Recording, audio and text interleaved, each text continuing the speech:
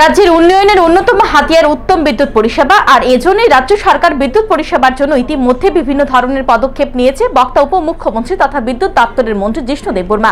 বৃহস্পতিবার তেত্রিশ কেবি বিদ্যুৎ সাব ডিভিশনের উদ্বোধন করে তিনি এই কথা বলেন, সেই সাথে তিনি জানান, বিদ্যুৎ চুরি বন্ধ করার জন্য বিভিন্ন ব্যবস্থাদি গ্রহণ শুরু হয়েছে।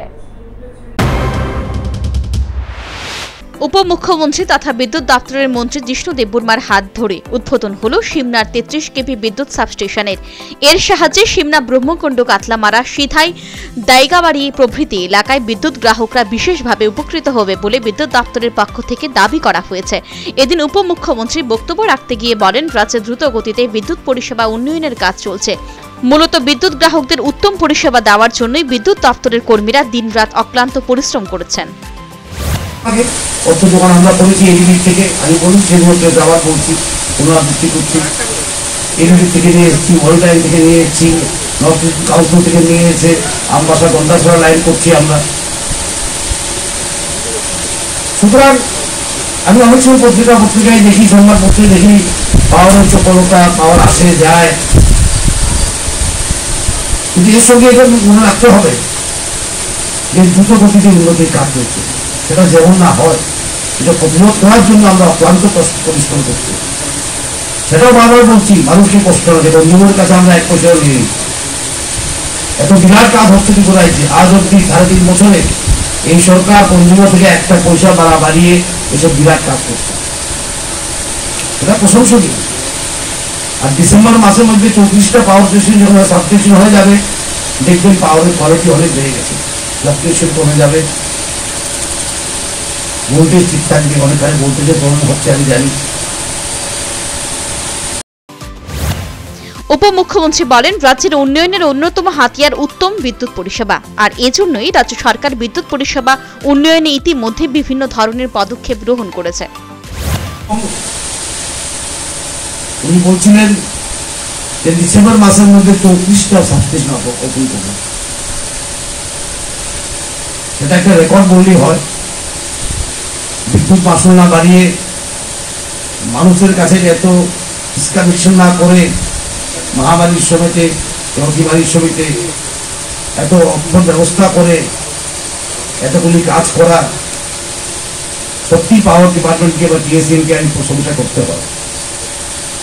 তো অর্থ জোগাড় করতে হবে কাজের জন্য। যে কোনো ডেভেলপমেন্ট কাজের জন্য অর্থ লাগে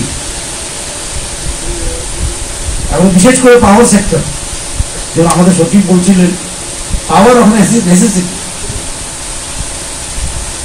পাওয়ার ছাড়া জীবনযাপন করা যায় না, রাজ্যের উন্নতি করা যায় না ফ্যাক্টরি লাগানো যায় না। সুতরাং আমরা এই ইচ্ছা আছে। আমি এই উদ্দেশ্যে আমরা কাজ করছি এই দিশাতে যে প্রত্যেক গ্রামে যেমন পাওয়ার স্পিক করে শুধু পাওয়ার পৌঁছে দিতে নয় ডিপেন্ডেবল পাওয়ার কোয়ালিটি পাওয়ার যেমন পৌঁছে যায়। উপমুখ্যমন্ত্রী এদিন বলেন, বিদ্যুৎ মাসুল না বাড়িয়ে বিদ্যুৎ পরিষেবার মান উন্নয়ন করা একটা কঠিন কাজ, কিন্তু তা সত্ত্বেও রাজ্য সরকার এই কাজটি করেছে। সেই সাথে তিনি বলেন, রাজ্যের বিদ্যুৎ চুরির বন্ধ করার জন্য ইতিমধ্যেই রাজ্য সরকার বিশেষ পদক্ষেপ নিয়েছে। কুন্ড পঞ্চবর্তী কাতলামারা দীঘায়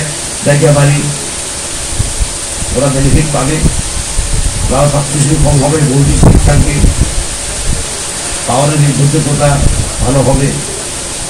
এবং আমি প্রত্যেকবারই বলি যে পাওয়ার বিভাগ অক্লান্ত পরিশ্রম করছে। মাসুল না বাড়িয়ে উন্নতি করা খুব কঠিন কাজ। বিভিন্ন জায়গা থেকে আমরা টাকা পয়সা নিয়ে এসেছি। কারণ খুবই এক্সপেন্সিভ পাওয়ার উন্নতি করতে অনেক টাকা লাগে অর্থ লাগে। এবং সেটা জোগাড় করার সময় লাগে। যেমন আমাদের সচিব সাহেব বলছিলেন আমরা এডিবি থেকে নিয়ে এসেছি। এডি কেবল কাভার কেবলগুলি ইনসুলেটেড কেবল যারা দেওয়া হবে। সেটা একবার ত্রিপুরা রাজ্যে লেগে গেলে পাওয়ার চুরিটাও কম হবে শর্টও কম হবে, এবং মানুষের নির্ভরযোগ্যতা পাওয়ার উপরে বিশ্বাসও আসবে। কারণ লাইনগুলো অনেক পুরানো হয়ে গেছে। এই লাইনের উপর আমরা হাইড্রো করেছি আইপিডিএস করেছি, বিভিন্ন প্রকল্প করেছি। এদিন উপমুখ্যমন্ত্রী হাত ধরে তেত্রিশ কেবি বিদ্যুৎ স্টেশনের উদ্বোধন হলো। এর সাহায্যে সিমনা, ব্রহ্মকুণ্ড পঞ্চবট্টি কাতলামারা, সিধাই দাইগ্যাবাড়ি এলাকায় প্রায় তিন হাজার আটশো পঞ্চান্ন জন বিদ্যুৎ গ্রাহক উত্তম বিদ্যুৎ পরিষেবার আওতায় আসবেন বলে বিদ্যুৎ দপ্তরের পক্ষ থেকে আশা প্রকাশ করা হয়েছে। এখন দেখার বিদ্যুৎ দপ্তরের এই দাবি আগামী দিনগুলোতে সংশ্লিষ্ট এলাকার বিদ্যুৎ গ্রাহকদের বিদ্যুৎ চপলতার হাত থেকে কতখানি রক্ষা করতে পারে। Bureau report, News Vanguard.